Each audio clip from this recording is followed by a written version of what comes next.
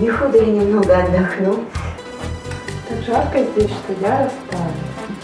Ну, Павлов пойдет нам что-нибудь. Авансов новых, право, я не знаю, а старый на кучке совсем. Ах, стой, Андрей. Ой,